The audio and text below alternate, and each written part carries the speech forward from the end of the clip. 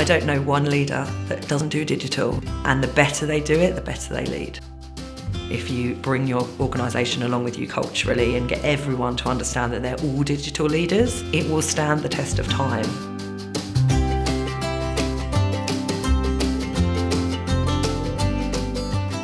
My name is Laura May. I am the Communications Manager at MSUK, a national charity supporting people affected by multiple sclerosis. My role as the Communications Manager is to oversee all the digital channels.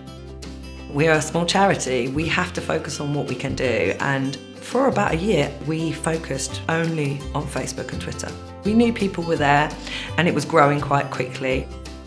We measured how many likes do we have on Facebook and how many followers do we have on Twitter. But now we measure a lot more around reach and engagement.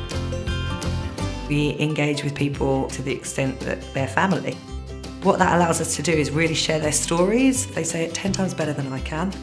User generated content is quite scary at first because you want to control it all, but it really helps get that conversation going. There's nothing worse than seeing a, a feed on social media that's got no heart. So you need to have some personality. We have a wellness centre on site in our premises for people affected by multiple sclerosis to exercise in a safe environment. We have a lot of really rich relationships with our clients there. We've recently opened a, a, Facebook page for Joseph's Court specifically. It just facilitates an extra element of engagement.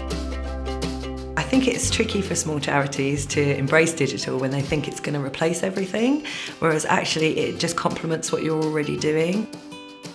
A couple of years ago we launched the MyMS UK app to be able to share our magazine, New Pathways, digitally, to reach people that were perhaps would not subscribe to a magazine in print format anymore.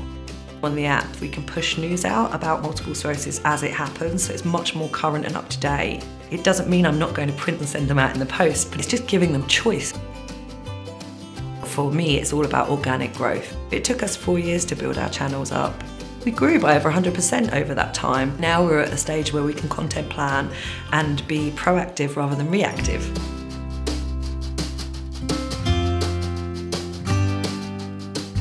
You don't build any community in a day, face to face or digitally. Take your time and focus on what you can do, not on what you can't do. Trust your staff. You would trust them to speak to a client in a centre, trust them to translate it to digital, because it, it does work go where your audience is, on whatever channel it is they happen to be on. If you can be there for them, you've helped somebody. And that's, that's what it's all about.